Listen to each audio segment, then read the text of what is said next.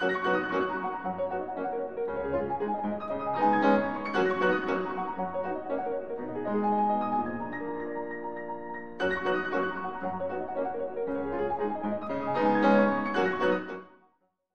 morning and welcome back to the next session.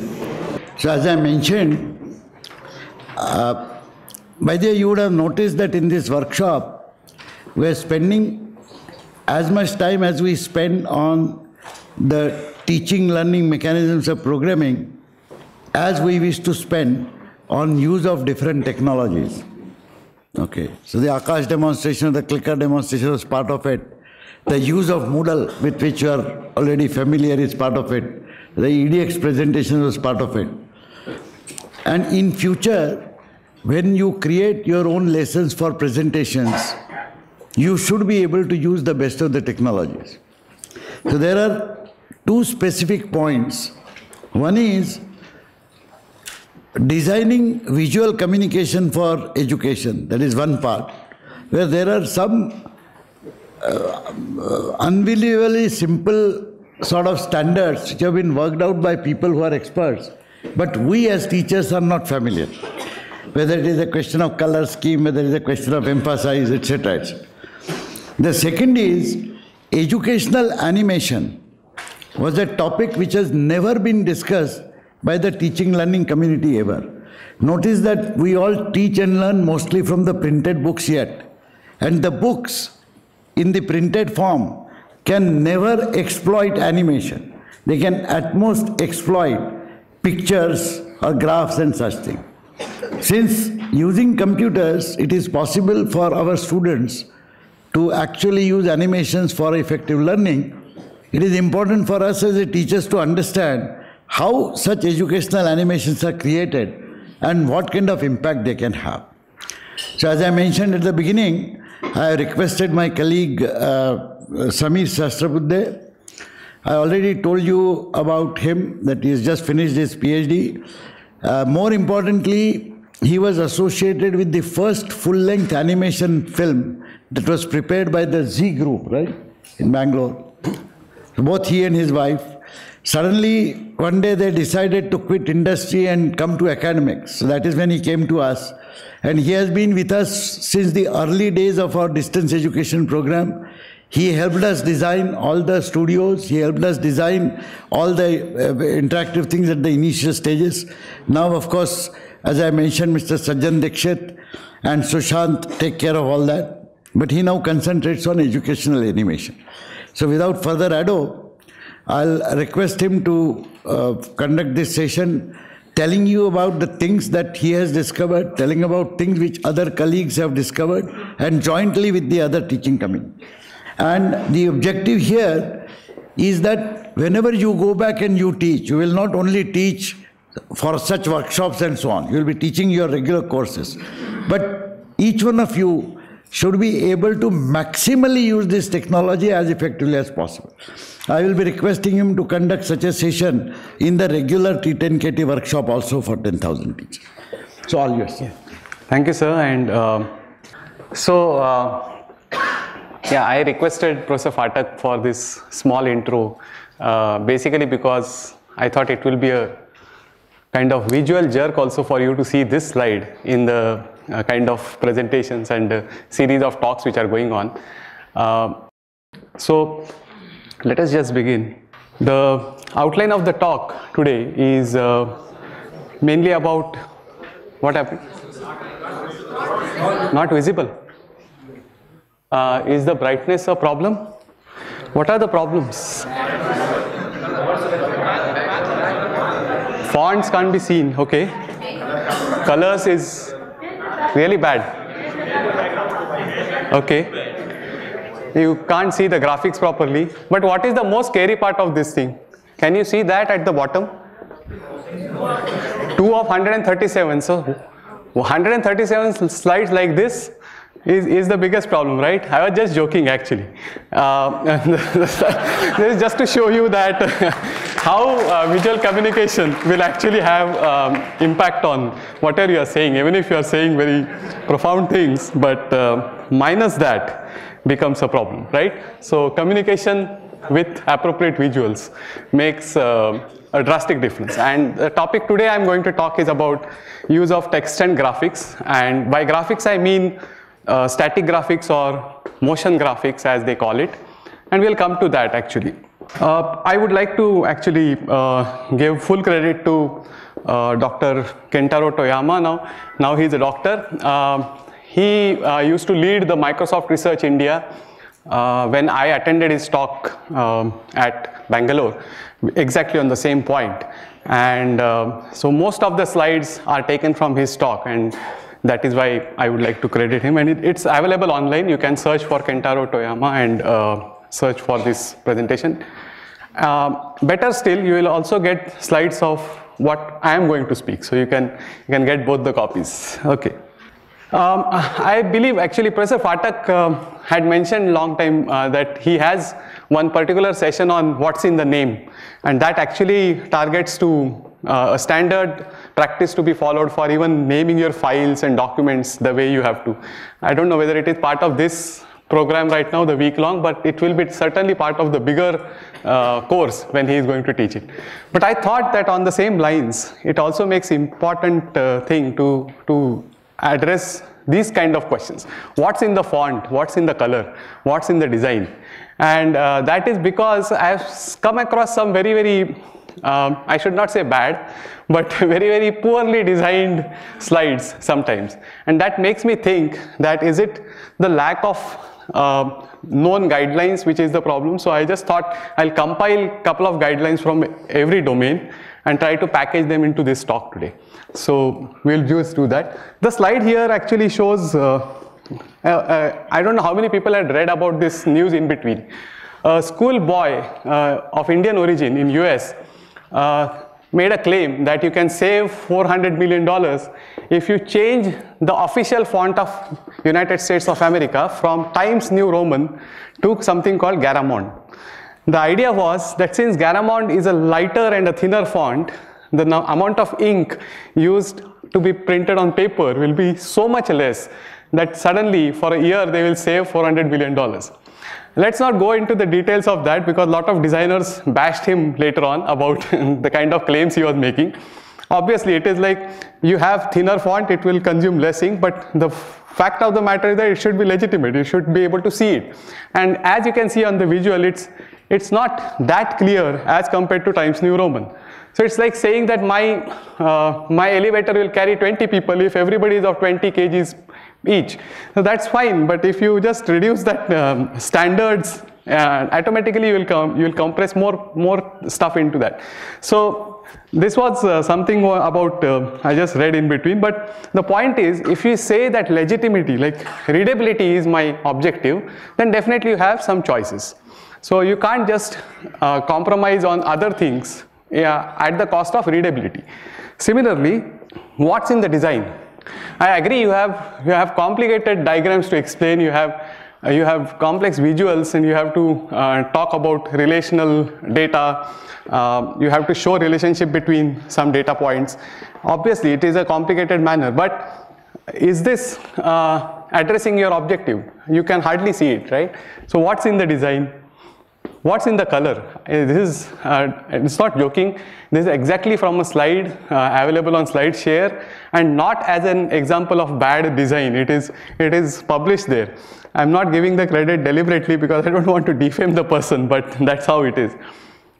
So what's in the color? People choose very arbit colors at times. Um, for some objective probably they have in mind, but is there a theory which tells you that what should be the best color for a given thing? So such and more things we'll be uh, exploring during these things. So just to start off, let's see some of the examples. For uh, just, this is a page from a C++ tutorial available online and it's some section 0.3 about how to use this tutorial. Can, can you just spot some problems in this? Too much text, okay. Can anybody see the, uh, the code here? There is some code written here. You can't, right? It's so mixed up with the text, you can't really see that. Okay, a modified version of the same thing. Now what's the, what's the feedback? Can you see this? Better? Uh, okay, uh, can you see the code now? Because it is in a box, it is indented, right? Uh, what is more interesting in this, like additional feature, what you can see here? Colors. Colors, okay, colors. Apart from that, navigation, yes. So you get navigation here and you know at least what's the next lesson and what was the previous lesson. It makes more simpler for you to navigate through it. Okay, one more modification. What about this? Can you see the code now? But there is a code, right? You can see because it is indented completely to the center now. You can't miss it. Plus, what happens? Additional features. You have the left hand menu where not only the next lesson and the previous, you can see all the lessons, right?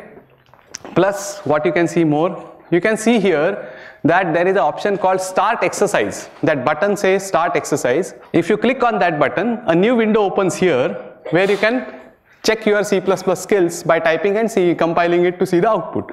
Right, this is, so the migration what I am trying to tell you is perfect use of technology in terms of, not only in terms of the content but also in terms of how you present it. So for something like C++ where you have to really do it to see the output. You can't say that, okay, read this HTML page, go to your other window, type something, do it. If you don't find it, come back, relocate where you had, uh, you had uh, left it out and then again start from that place. So it's, it's pretty uh, taxing for the person who is using it and that alt tab is creating a lot more problems than uh, he or she could have imagined. So such things actually are adding value to this. So what has been added in this due course of time is little bit of visual communication principles, little bit of interaction design principles, how people interact with computers, and then the output is uh, looking better.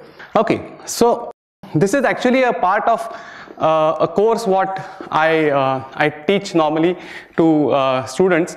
So I'm just graying out the first part because you being teachers, I don't have to tell you how to plan topics. You are all experts on that. What I'm going to just anyway emphasize on is how well can you execute what you have planned and how well can you use the tools to impress. Now impress is uh, very important here because whatever you want to say, whatever you want to tell people, you expect them to carry it back with them. So it's not something you just read there, listen to the person and then go off and forget. You want them to have that uh, not only up to the recall level, like uh, tomorrow I think Professor Sridhar Iyer and Professor Sahana Murthy are going to talk about it, but yeah, you will require higher levels of Bloom's taxonomy for uh, getting the maximum output. So you just don't want them to recall, you want them to apply that knowledge. So you have to go to the higher levels. For all that, the, the way you are going to express your thoughts is through your presentations and the talking. So let us just go into that point. So this is a typical uh, layout of a slide. Uh, I'm going to, I'm just taking random examples now. Uh, this is, this has a, uh, a standard set of features. You have a topic, you have subtopics, you have bullets, you have some images. Interesting point here is that what should be the weightage difference between each of these topic. So what should start as the heading and what should be the, the subheading and so on and so forth has to have a a definite balance between each other and we will come to that. So when we say that uh, graphics are useful, uh, the first question comes to mind is that what are the basic types of graphics and uh, people have been using graphics uh, most of the time without even uh, realizing what type of graphic they are using. So I'll show you some examples and probably you can correct me if I'm wrong.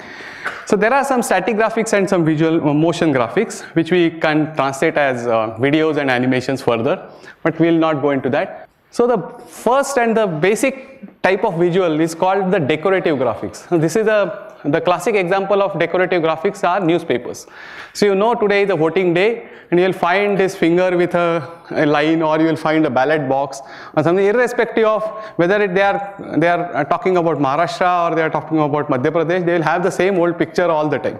It's just to grab the attention and break the monotony of the all text which is there in the newspaper. That's just the, the, the task of that particular graphic is only that much.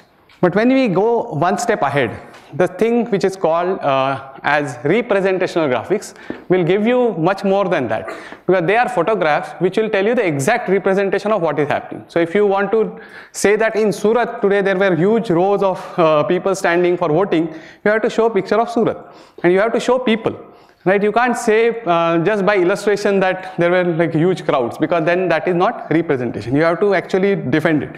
And one of the good example of this representational graphic in modern day times is a screenshot because when you tell somebody that okay when you right click you'll get three options and you have to select the middle one it's very difficult to imagine that setting without that software so the screenshot will exactly tell you how it looks there is another interesting type of graphic called mnemonic graphic and uh, how many people know this um, when somebody will ask you how many days in october a lot of people start doing this. This is just embedded in your mind so much that you don't forget it and you just try doing it. This is associative um, uh, graphic memory which we will carry. So these are some of the uh, graphics which are used for um, uh, memory recall purpose.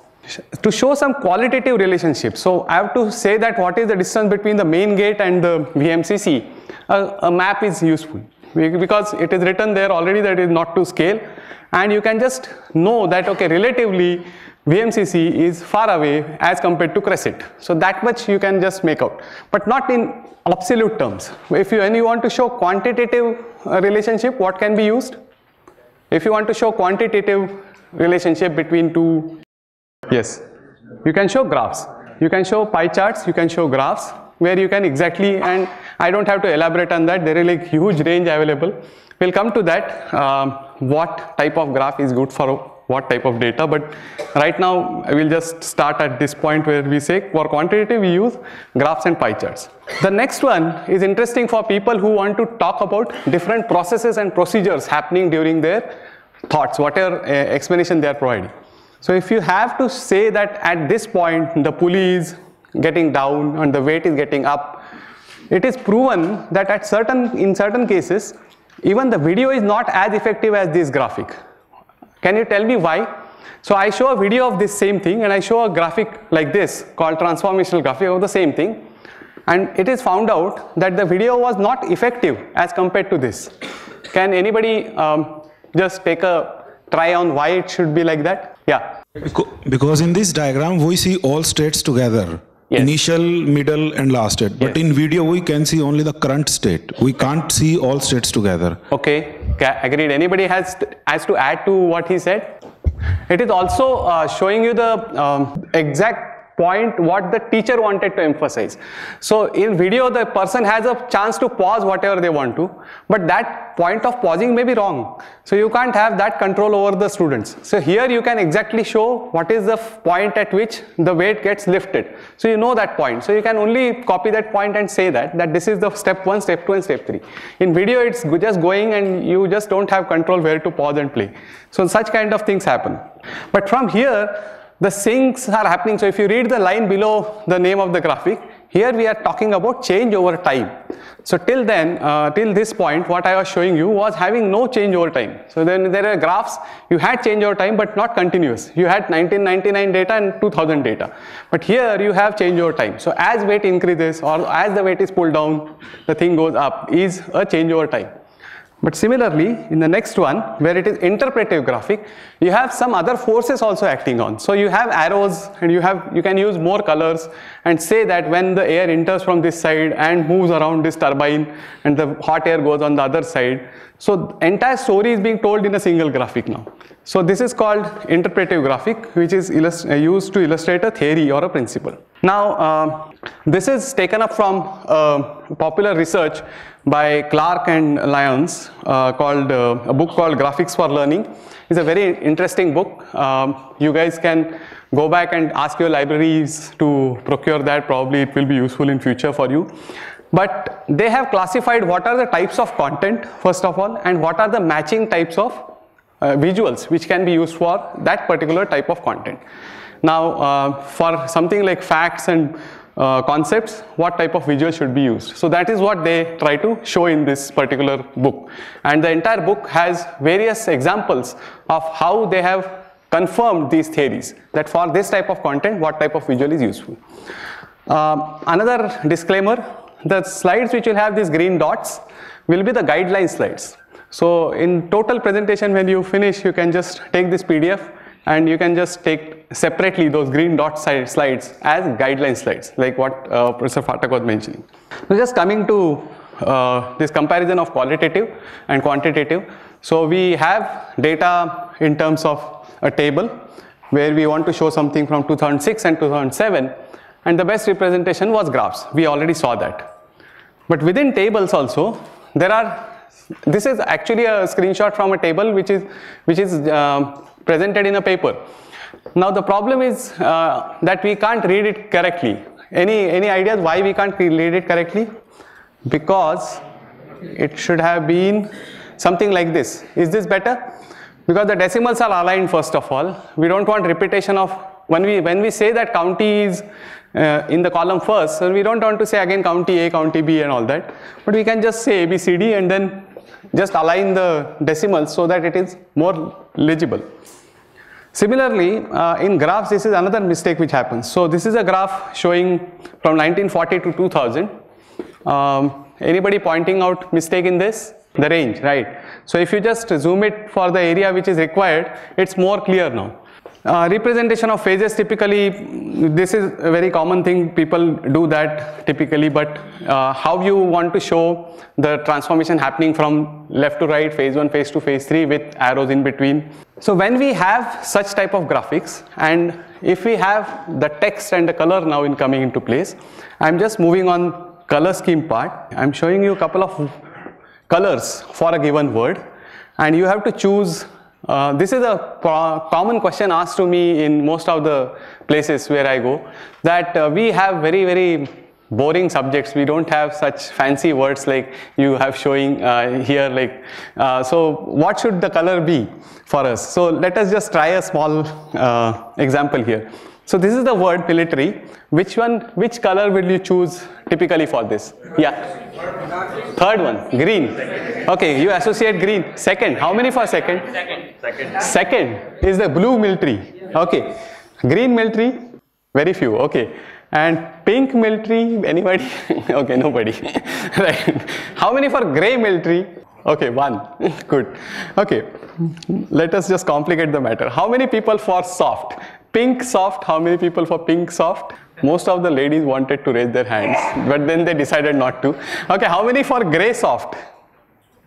None. How many for blue soft? Okay, and how many for green soft? Not many, right? So uh, you can see that there are prejudices coming in place right away because the way you want to use it. Okay, how many for space and what color for space? Gray space? Blue space? Lot of them, right? Green space, none. Obviously and pink space also I don't see now we'll complicate uh, okay so neutral is uh, neutral was the answer to them so it depends on uh, where are you using that because it depends a lot on the background also. For example you have a very very uh, pale yellow uh, background and then you can't see gray color on that. So even if gray is neutral but you can't see it there. So that time you can use black to just say something neutral. It depends on that but let's go ahead and see. So color, the choice of color is very subjective and uh, that is why I follow some kind of rules like this. So color is equal to mood and color is equal to expression. Uh, color is equal to convention. Most of them I have seen using red color uh, for something they want to emphasize and um, it, it is counterproductive at times because the topic you are talking mostly is not connected to that red at all and it just gives some other meaning to the whole thing. So in fact just today morning when I was preparing uh, the guideline slides and I wanted to give that um, a circle on the top and I selected blue for that. My daughter was sitting at the back and she said make it green I said, why? He said, you want them to follow this, right? Green is go. And so you should use green for that. And I agreed to that because yes, you, you would associate green with something you should do rather than red or pink or violet or maroon or whatever color comes to your mind. So color has meaning and it has meaning across cultures. So that is why you have to be very neutral at times when you choose colors for whatever you want to present. We will will complicate the matter in the next slides, but uh, just for the theory part, there are some color schemes and you can use them. The color guidelines are like that. So more contrast is more readability. Normally have highest contrast possible when you want to show readability.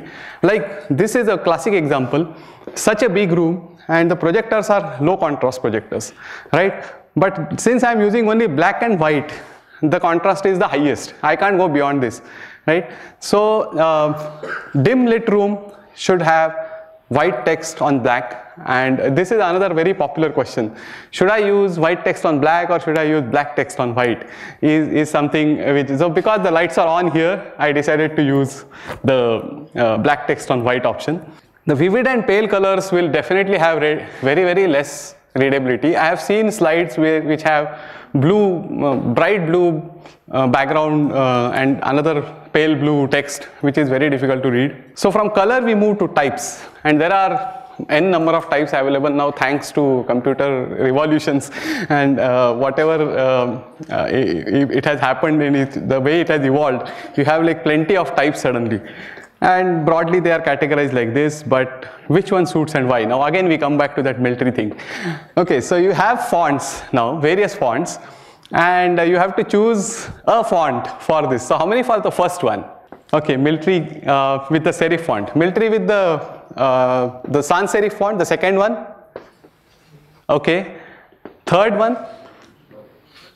Fourth one. Yeah, a lot of people are not uh, raising their hand for the fourth one primarily because they see the pink color there. So I'm not asking for the pink color. Okay, just forget that it is pink in color. But still, what will you use then? So uh, as you see the difference, your decision suddenly goes because of the color first of all and then you see the font. So um, that is where I had put color guidelines before font guidelines because the way you choose your colors becomes very important. Yeah, which one is military better now? Second one. Second one. Oh, still people go with second one. Fourth one, okay. What about soft? Again same things happen because third one. Okay. What about space? Last one. Why last one? Okay, let us let us just analyze why last one. How many people for the last one? Not many. Okay, how many people for the second one? Lot of them. Okay, why second? Anybody who is pro second? It's more clear. Okay. So, uh, but when you are talking about space, do you want to so clarity is important definitely but then why are you choosing a font? Basically you want to convey something else apart from just the clarity. Clarity is inherent. You need to have that. But you have a choice of font. So why not fourth one and why only second one? So does it associate with the spaceness of the word the font?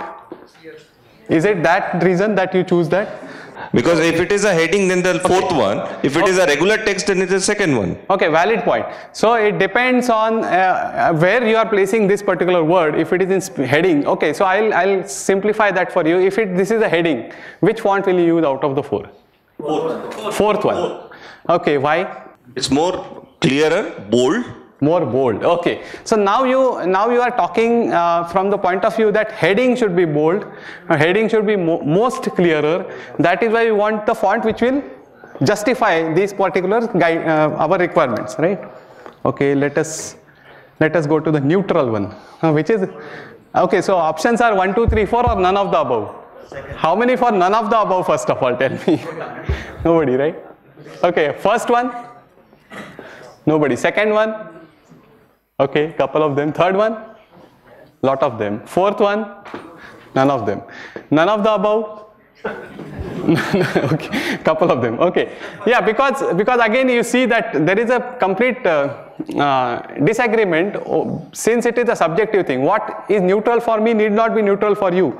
But we have to choose a font which is neutral to most of the people. That is the key. So when you see that lot of people second suggested. Uh, the third one, right? So they found neutral because Times Roman is considered as a standard font across. So people will associate neutralization with that font easily.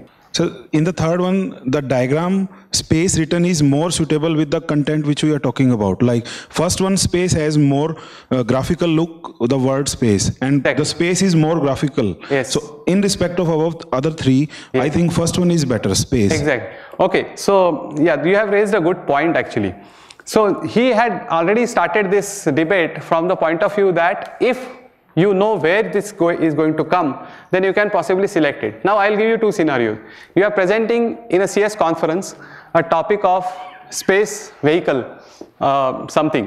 And you are all the second scenario is that you are you are place you are uh, giving this presentation in a um, probably game developers forum where you are showing a game called space jam. Now which one will you use? And where? So first one will be used where For the games, right? And the, the, the second one or the fourth one will be used in where? In the conference. Right? Suddenly you change the thing because you know the audience would like to look at it from that perspective. In isolation, if I ask you, obviously I can take your answer that the space has more visual appeal as space as compared to any of them. So I'll select that. The moment I tell you that, okay, use this in your presentation, you will probably settle down for something else. If I tell you it has to be printed and distributed to everybody as a password, then you'll probably choose something else because that should be very small and readable at that font also. That's so fine. application will change you, but uh, which one suits and why is is the key which we are discussing and that from that point of view i think i'll take your answer for first. And there will be some followers for you also probably. Okay so this is another interesting uh, point i have observed is about emphasizing. So you want to emphasize a certain point in your presentation and there are multiple ways of doing it. You can do by maybe making it bold. You can do it by making it italics. You can make it by underlining and you can also do it by color. The problem happens when people do this. They make it bold, italic, color, underline, everything in, in the same word itself. And that is overemphasized. So Professor Phatak actually narrated a very interesting thing uh, last lecture of how overemphasized will, will be a problem. So most of the time you will see this uh, smoking strictly prohibited. And that's what uh, was observed by one of his typists. And he said, why strictly prohibited? Prohibited itself has a dictionary, dictionary meaning not to be done, right? so what is strictly not to be done and softly to be done, not to be done? So there are no variations within that, right? When you want to do emphasize, if you have just made it bold, it will be anyway standing out. Why do you want to make it italics and underline it and also change the color of that? So overemphasizing becomes a problem. So normally don't overemphasize anything. So these are the typographic guidelines that you have to use as minimum fonts as possible uh, you have to pardon me for my presentation. It will not come under that purview. I'm trying to show what are the different fonts. So I'm using multiple fonts. and uh, what are the font options which are used for emphasizing. So you can choose between the best emphasizing option at that given particular point. Again, it depends on the target audience and the kind of place where you're using it use the left aligned as much as possible wherever you can but you can use justified. Some, some of the research papers ask for justified uh, things but for typically for presentations people don't use justified. People use left aligned options. Mm, use grid. This is a new addition to my presentation. After i saw a couple of tools like uh, new microsoft uh, tools which have uh, uh, office 10 or something so all these new softwares come with a built-in settings of grid. So what I mean by that is when I'm, I'm trying to place this particular text, suppose probably you will not be able to see it. But if I, you, can you see the line now? Yeah, so this line is giving me the hint that it is in center of the whole presentation. Please use such guidelines and hints which are available in the software. I've seen people not using this and then manually uh, pressing their keyboard uh, whatever left and right buttons to center it manually. You have all the tools available. People have also have seen not using the centralize function given in the tool itself. They'll put spacebar or tab or something to centralize it. That's actually a very bad way of doing it. So when you have the text and visuals in place, then comes a very, very uh, popular feature in two new age presentation, which is called visual effects. So you have all these dropping of letters and curling of uh, letters and all that. You have uh, very, very fancy um, transitions of slides. You have door openings and you have uh, something like blast and you have page curls, very popular.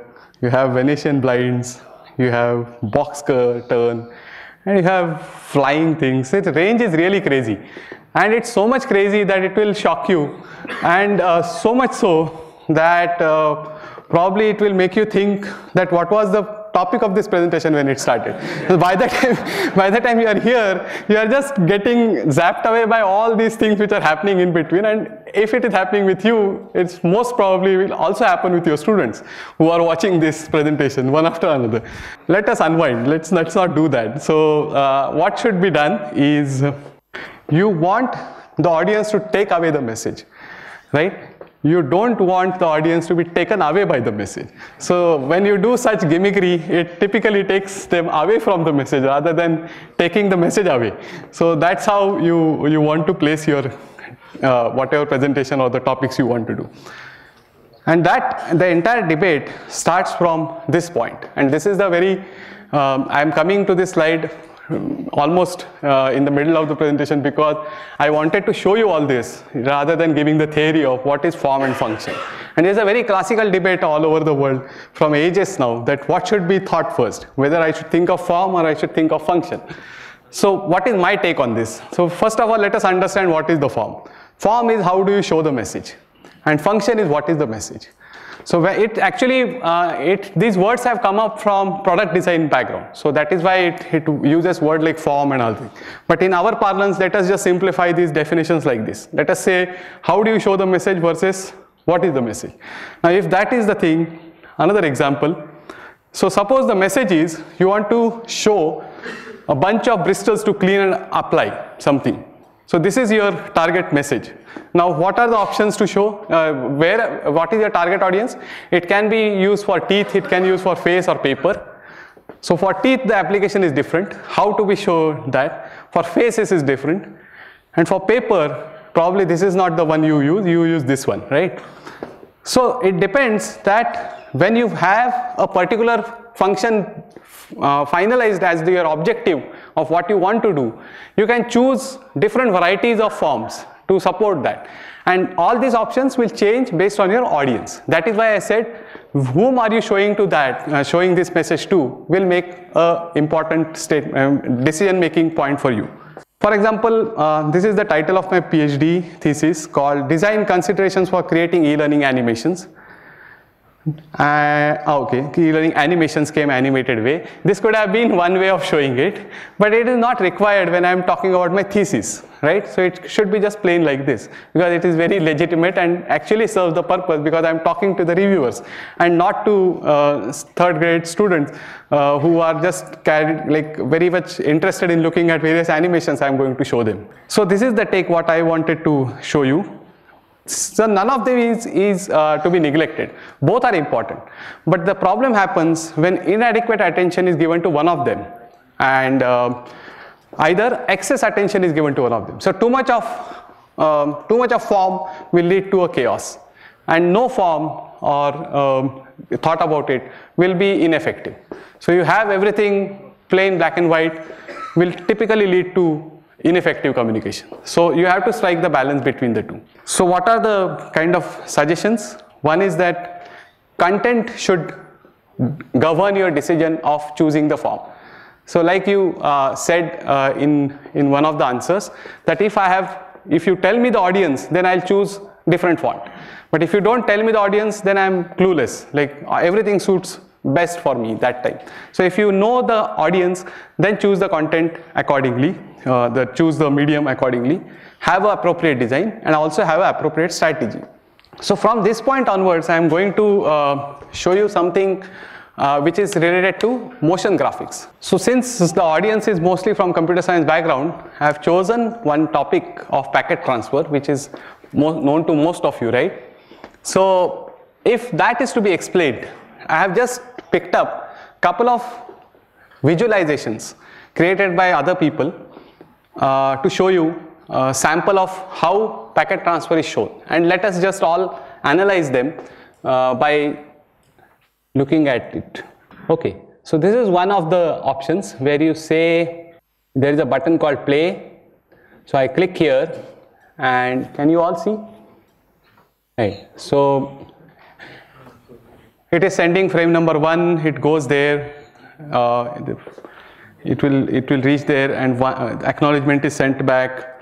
Then the window moves ahead. It will go to 2 3 and 0 then the frame 2 is sent. Right? You have play pause button here and you can see it. Right? The other option is where you can just yeah. So here is it. This is the client and this is the server and you want to run the app. How does it do? Yeah, so it is sending from client to the server through the medium and you get some feedback, right? you will have another version of this probably where you do this. Okay, so this is about packet switching. A file A being sent from, so this is that file. Can you see complete thing? So this FILE is being split into four parts now. And uh, when I click next it is arranged from here. It is going on the network. It keeps on telling me okay so your views. Out of the three what you saw first second and third which one is the best representation of what you saw? The third one? How many for the third one? Okay anybody can you explain why third one? It has defined pauses. it has defined Pauses. pauses. Okay so user has the full freedom to wait watch see things and then go ahead right? Okay how many for the second one? No? Why no? It's just a diagram. So you don't okay so but there is nothing wrong in diagram. Books have diagrams. It is going on its speed. it is going on its own. It is not giving any control to the users. Okay do you want to elaborate ha Only two nodes are considered here. In the next figure, that uh, intermediate nodes are also in- included. Okay, so there is some change in the content also. This is not completely showing what is happening. Okay. Anything else apart from content? Okay, some some prior knowledge is required to Yes. in order to know this, and that is not considered. If that is not considered, you will not probably enjoy this. Okay. By the way, how many how many people agree that uh, uh, this looks very dull? None of you. Most of you, some of you, okay, some of us, okay. And uh, what about this then? Okay, what what with what is the problem with this? Or is there no problem with this? No problem. No problem. Okay. Why no problem? Everything is clear. Everything is there. Whatever is to be there is there. Okay, but then why third one is better than this? Or you feel that first one is better than third one? How many for first one? Let's see this. This one. Okay, how many for third one? It has to be more, right? Because I saw more hands that time. Yeah. yeah. Uh, when data to be transferred between two, that's a sender to receiver, and uh, with a uh, what is that? The window size. Right. This is elegant, sufficient. Correct. But the third one talks with respect to a complex network, Okay. and he need to know that between two there are multiple nodes through which Right. it can transmit Right. congestion control and all. But that's not required to tell about the data transfer between uh, sender to receiver. Yes. So, okay, if I simplify this for you, uh, will you agree? Um, point I wanted to say is that for different objectives, each of these are useful for a different objective. So if I say that the objective is to only tell them what is packet transfer, probably one will suffice because you just know that something is sender, something is receiver, something is a medium. But if I want to show one more degree of complexity I want to add that what is sliding window or something like that, then I will probably go for two. When I want to show them what are the congestions, what are the problems when FILE goes on the other side as IELF, then what happens? Then probably 3 is better. So the point I wanted to make that you can't take a standard undertaking that animation will be the most useful platform for everything and anything. Sir, Oh yes, actually, uh, you are saying we have to animate or we have to represent text more meaningful. Uh, Okay. With animation or some uh, special effects. Okay. If we go with more meaningful in the sense, uh, it will create more complex. Uh, you are telling uh, if we go with space more meaningful in the sense, we have to give a blank space or white space. If we go with uh, neutral with more meaningful in the sense, we have to do nothing. Uh, Okay. According to your concept, uh, if we go in the sense, it will create a complexity for students. uh, for uh, creative students or for bright students, it will be ap- appreciable or uh, it will be good. For normal thinkers, uh, it will be complex. If we animated more in the sense, if we animated more meaningful in the sense. okay. Um, whatever meaning I could get through this is uh, I will I'll try to narrate it. You correct me if I'm wrong. So what I think this gentleman is trying to say is that when I when I uh, profess standing here that use um use the inherent meanings of words or images when you want to create a presentation, and uh, your assumption is that if we create such things, students may not get the exact message, what you wanted to intend to explain them. Is it that what you're saying? Yeah, yeah, yeah. Okay. That's what I'm saying. Okay, anybody has the answer to that on my behalf? okay, so or should I give it? Okay, so uh, the point is like this. Uh, you are absolutely right in uh, asking me this question that when on one side you say that use these fonts and colors and all that to, to maximize your communication to people. But uh, at the same time, if you see the slide carefully, I have told that it completely depends on the audience first of all. And secondly, it is to be used at the point where it is necessary. So we had this example of if we are presenting in a CS conference or if we are presenting in a games lounge. So that depending on the audience we will change our point of view. So if you are presenting a space related space roller um, vehicle activity to students, probably you will not use those funky fonts and color schemes and all that. You will just use a very plain thing. The point here is uh, that although we we understand that animation will help us explain complicated concepts. It depends again on the objective of what we are trying to say. When we say that we want only to tell them that what is the transmitter and what is the receiver and what is the medium, probably the option number two, which was bare black and white thing with just some dotted line going here and there will be sufficient it will not create the chaos what you are uh, what you are explaining. The moment i show the third one or the second one just for a simple concept of what is packet transfer between the sender and the receiver this might create chaos. And that is exactly my point of showing the three options. So you have to choose very carefully since the content is available in abundance right now it is your decision to choose the right one rather than choosing the first one which comes to your mind or first one which is available to you that is why I deliberately did this exercise of finding out three options or three levels of animations available for the same concept, almost the same concept. Probably I'm, I'm not very correct in choosing the uh, concept right at times. It has some variation in the objectives itself. But overall, if you Google for packet transfer animation, you will get these three videos, right? So uh, the point I wanted to make was that it is it is not important to just say that I am using animations to explain something. It is also important that I should be satisfied with the objective first of all and the audience which I am trying to connect with and then choose the appropriate one. So that is where uh, I wanted to show these three options.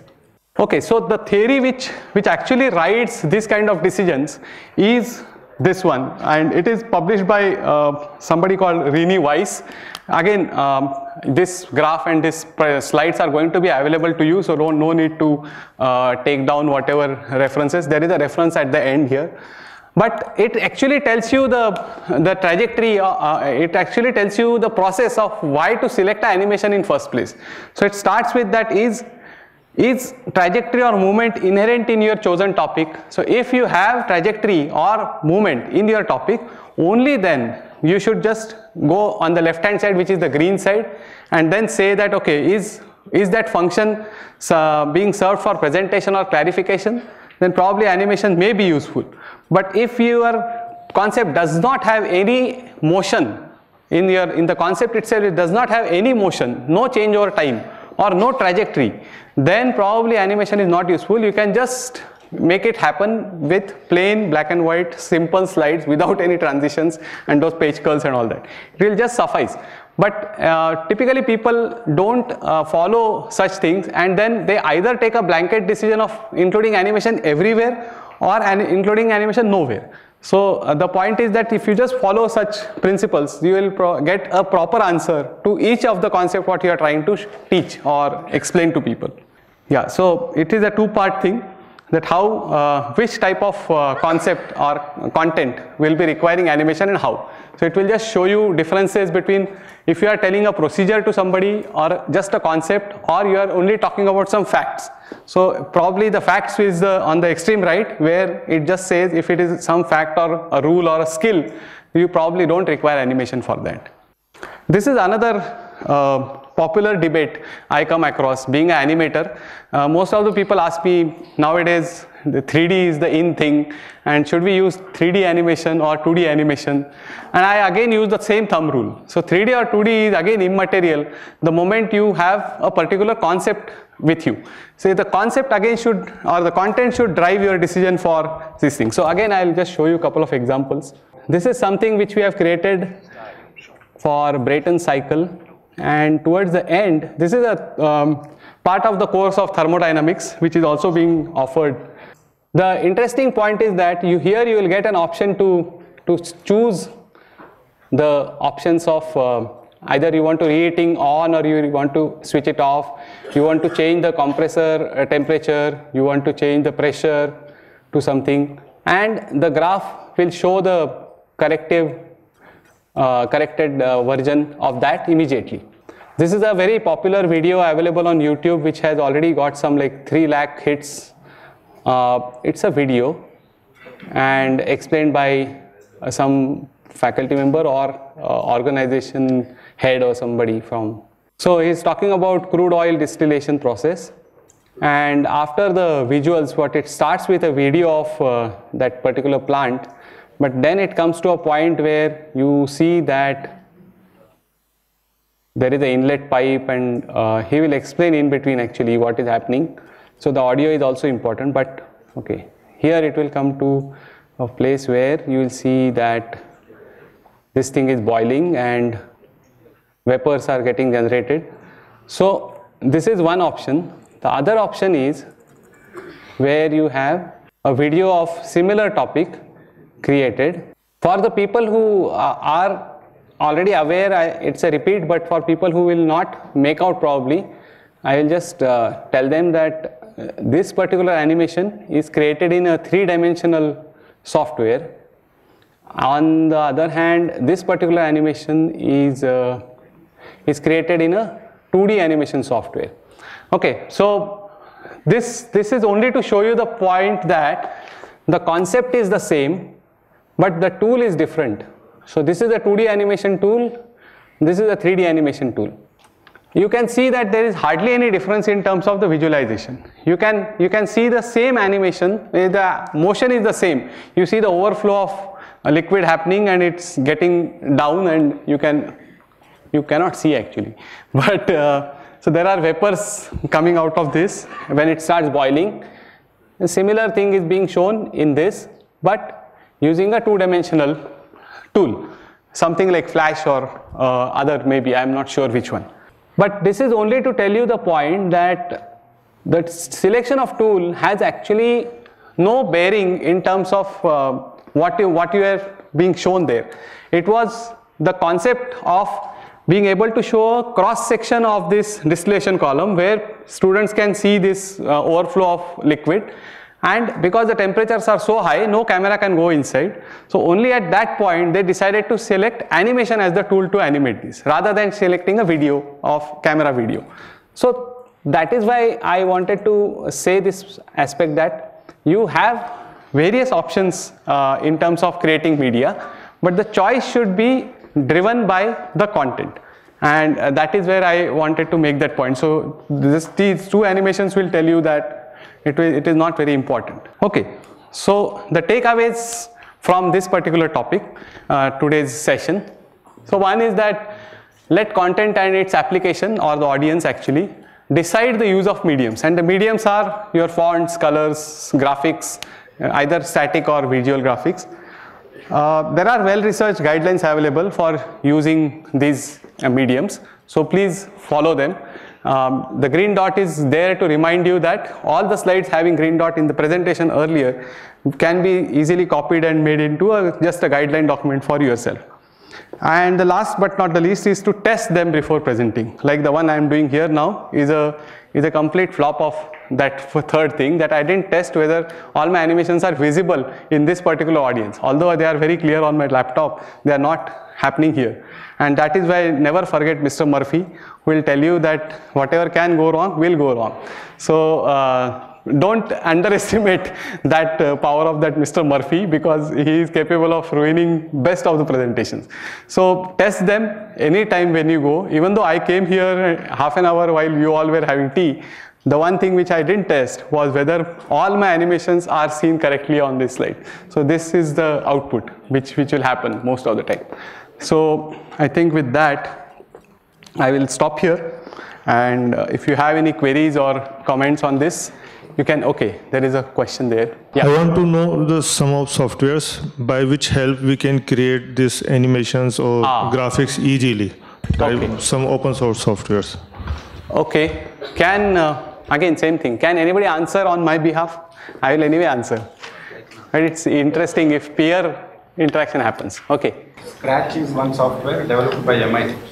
uh, Scratch. Yeah. So this is one very good resource uh, uh, said by this gentleman here. The name of the software is Scratch. Probably I'll start writing them down here. So this is called S C R A T C H, right? Scratch by MIT. So you have to just Google for this. This is a very good programming tool and it's a very easy to use programming tool. Just drop down and it will connect to each other and then you can just say play and you will see the animation happening. So it's a very very easy. In fact, we have tried teaching this tool to school children and they were able to program very well using this. Right? Okay, anybody else want to add to the list? Okay, Prezi for presentations. Okay. How many people know about Prezi? Uh, it's a tool available to make presentations in which you can uh, zoom into a particular text and emphasize it. And uh, you can add a flow to the presentation very nicely. Uh, it's, uh, I think it's a paid software, but uh, limited edition is available for free. Okay, so you are correct. It is a it is a free online tool. If you want to use it online, you can create a login and in, you can create your own presentations online. You can show them. You can download a PDF also, free of cost. But if you want to download the entire tool, where without internet you should be able to edit it, I think that is the paid version. But rest of the thing is free. Uh, one thing I would like to add to what she said, Prezi is one software which will give you the overall view of your presentation in the same um, image or same location so same space actually so it will actually not create slides as one behind another but the slides will be placed on a big platform on in a space at the same time. So uh, essentially what it happens is you can create the order of slide 1 2 3 4 and it will just zoom from one slide to another. And so any point in time you want to show the entire picture it is available to you. So that's the advantage of Prezi okay anybody Sir, my question is related to animation. Suppose I want to make any mo- animated movie that is uh, related to temple. Uh, it consists of some animated character that showing the from where we enter, from where is exit, and some crowd. But uh, it, it can be show, it only shown by the just small character, animated character. So what which uh, software should I use for that making animated movie in in simple way? okay so I have tried many software, but uh, uh, all these are software so much complex, so I am able to make that animated movie related to any temple. which one which one did you try Uh, Maya software. Maya, okay. Obviously, you will end up with that problem at the end. Okay, so to answer your thing, I have a couple of uh, suggestions. First and the foremost, you have to justify whether an animated movie with characters is required to explain your concept. Right? So we, we can show by map, but that is a static. I just want it is map, but uh, uh, some animated character just moving. That is the entry point. That is exit point. Here is a, there is a very crowd in that temple. So we are just watching that movie. We are able to know more about our temple. Okay, so you want, so I'm saying you should be yourself justified that animation is the solution for your problem, what you are trying to say. After that, animation has to be done. That is one. Why I'm saying it for animation especially is because it's a very, very costly affair, not only in terms of money, but in terms of resource. You don't get animators so very easily, and you don't get. But will you time. please suggest me any sim- software that we can easily done our task? We use something called Blender. So, student who want to uh, do something in animation. What are the areas? Because the uh, coaching institute uh, who teach them animation are very costly. Ah, okay, again, uh, the same question. But um, like I said, let us uh, limit this discussion to how to use animation in your educational teaching activities only. It's also a point that how, how will students do animation if they ask you this question. The answer we have for you is something called Blender, which is an open source 3D animation tool. I'm just going to show you a couple of uh, things which we have done in Blender. For example, so these are two pictures. Uh, one of them is a photograph and other one is created using a 3D tool called Blender. So can you spot which one is animated and which one is a photograph? How many people feel right one is created using software? Left? Others have to be left here. Okay, fine. So uh, the answer is the right one is created using software. Uh, this is created using a tool called Blender which we use. Even this is Blender, this is Blender, Okay, so the inset area, this, this is a photograph and this is Blender, right? This is a photograph and this is Blender. So what we do is we have a repository of models, such models on our website called oscar.iitb.ac.in where we'll have around 200 such models only for educational purpose. There are no characters, no Tom, no Jerry.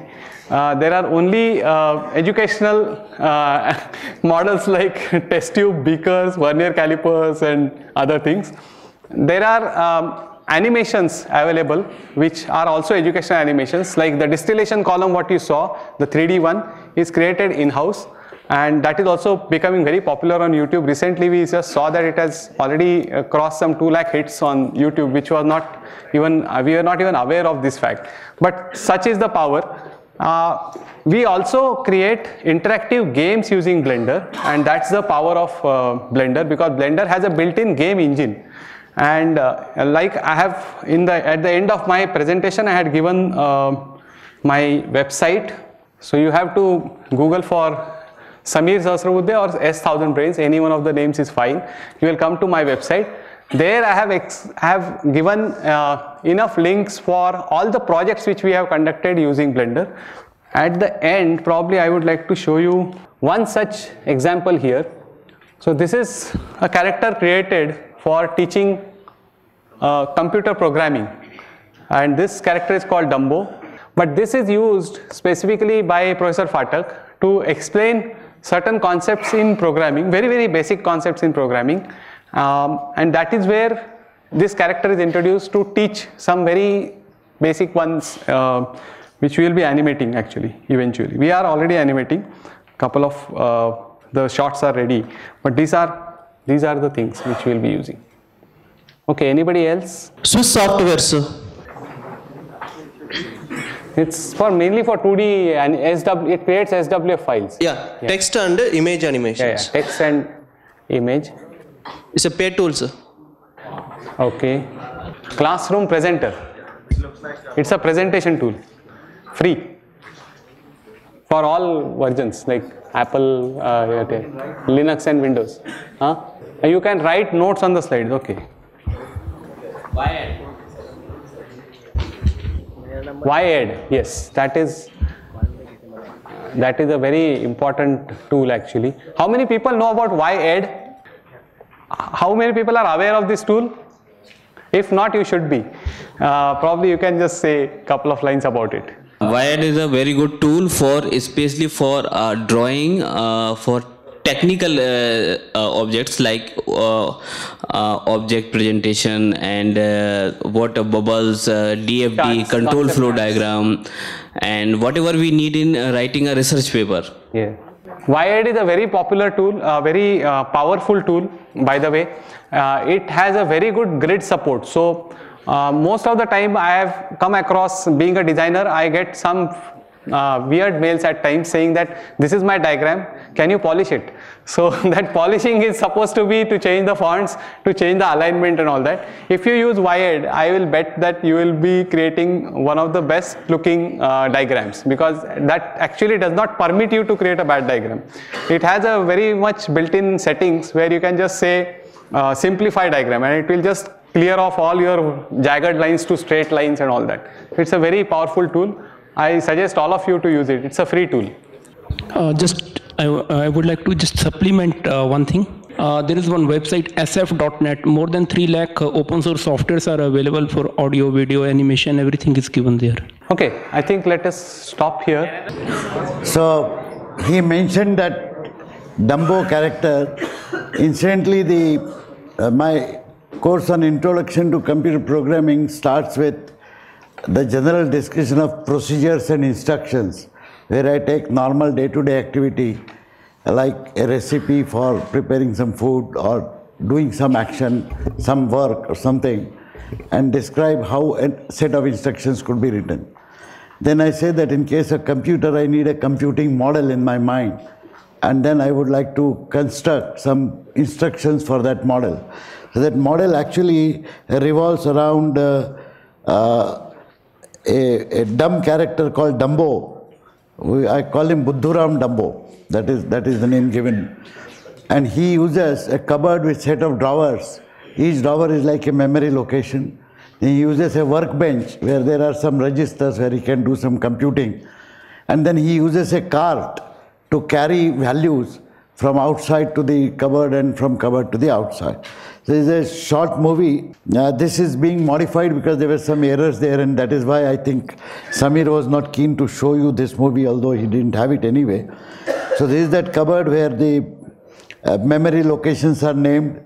It is shown how there would be some value inside a location. These values are supposed to have come in through some earlier input operation. The value for some is shown as a question mark, meaning we do not know what that value is. This is our Mr. Dumbo who is executing the instruction sum is equal to a plus b. So he takes out a copy of that value from the location, puts it in a register. Then he takes out the value b. These are the two values to be added. Notice that by mistake, the previous value has gone to another register automatically, which is incorrect. It should stay in whichever register it was copied. Now, this is shown how he will add on his workbench and these two, this addition will result into a value 47. Now this is still on the workbench, so we'll copy that value 47 and put it in the location for sum. So this is how he completes the operation, which is sum is equal to a plus b. I have consistently found that this simple model creates, for people who have never seen a computer or have not read anything about computers, etc., they can form a mental model of a memory location which later on I can relate to a variable and so on. The fact that all locations are sort of fixed size okay, helps me to relate them to the notion of byte or word or something like that. The fact that when I, uh, so there is, there is another, uh, we're combining multiple of these, but it's worthwhile. For example, you look at the input operation. So here is a question mark. He will now take that value and, and, and, and, and put it inside. So you will notice that uh, the question mark will now be replaced by this. So this is, I use it to emphasize that at any time only one value can be inside and if there is any earlier value, it will get uh, replaced. Similarly, when we show the output operation, here he has to take the value of sum out, but this time he will bring the cart here and he will make a copy of the value in sum. So it is important to emphasize that in an output operation, the value inside the location is not destroyed, it remains there and only a copy goes out. Uh, now the whole uh, animation film introducing these simple components of a computer. Uh, a set of drawers in a cupboard as memory, a workbench, a, a carriage which the Dumbo carries and the Buddhuram Dumbo himself does not take more than four to five minutes to play. It does not take more than two to three more minutes to describe the execution of a program which says input a comma b sum is equal to a plus b output sum. But this immediately tells people about how the actual computer programs would look like. So the artificial programming language which I have sort of constructed for Dumbo, much like your turtle graphics, okay, is something which is very similar to the conventional programming language, but the syntax is not as rigid. I use, for example, the term use locations A, B, sum. Because I tell people that the, the uh, drawers have only just drawers and the, some name tags have to be put before the Dumbo can use them. Now this I relate later on to the declaration of variables. I have found that these simple things are then very easily mapped by students into the corresponding computer concept. Now you can, I used to do that earlier by drawing a caricature of Dumbo on a slide and things like that. But an animation is, as you can see, far more powerful. And this is a Blender animation. So there are two advantages. Not only, of course, the final product is uh, free of license, so anybody can use it. But once I put the underlying animation components which are created in Blender on a shareable resource, any one of you can take those components and modify that Blender, modify that animation and use it in your own way. You can give a voiceover. In my case, it will be a voiceover in English. Yesterday we have seen you can give a voiceover in Telugu, Tamil, Marathi, Hindi, Urdu, whatever. Now these are the advantages of open source components. But any practically useful uh, uh, costed component can also be used if you think it is important and it is relevant. The only thing is that Sameer said it is a time consuming thing. You require a specialized trained personnel who can use Blender. We have trained such people and in fact Sameer and his team now run such training programs in different universities, workshops. They call people who want to run Blender animation and so on. And we have, somebody mentioned the Maya Academy, this thing is one of the most popular commercial software, right? So we actually have a senior manager, his colleague, Ajit uh, Chipunkar, who used to work with such animators uh, who used to be uh, sort of Maya specialist or whatever it is. And he discovered that using Blender is a far cheaper and trained people can are required. So he actually trained himself first and all others and he leads our team of the group of animation. So the point is that Blender doesn't stop at the point where you create animations, but you can create interactive animations. And I was referring to the point that when you have the audience in your mind and now the audience is shifting to more interactive versions like the Akash tablets what you have. So we are now in process of converting that content suitable for Akash tablets or tablets in, in general, Android tablets.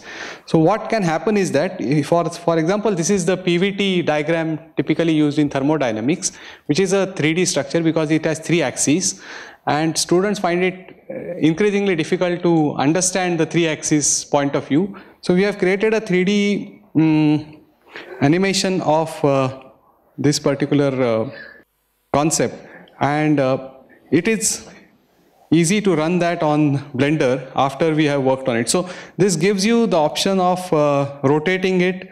You can see the PV perspective, you can see the PT perspective, you can see the VT perspective, you can also see the 3D perspective and uh, within 3D you can rotate it. So these kind of things are possible within Blender only because this is the only 3D tool which has a game engine built into it. Otherwise, you have to create models in Maya or other 3D animation tools and then go to another game engine to create the interactive models. The point of view what we are following is that for the content which is to be gone on this type of um, material in future, it should be using all that advances what are uh, given to us by the medium itself. So if this medium gives you the touch, then it should explore the touch in the best possible manner. And uh, for example, in, in the next uh, future things that we want to use that, use the accelerometer built into this and you can just do this to rotate it like you do in while playing uh, whatever temple run or whatever the games are. So uh, that should be the ideal case where you are using the potential of the medium and not just simply watching the same website which is available on desktop you are watching it on the tablet is not use of a tablet. So that is where we are trying to go ahead in. And uh, me and my colleagues actually are uh, doing it right now. One of them is here nitin who has uh, done this animation. Thanks. Uh, the point of this entire session was that all of us as teachers we must do the following and we must also emphasize this uh, to 10,000 colleague teachers will come here.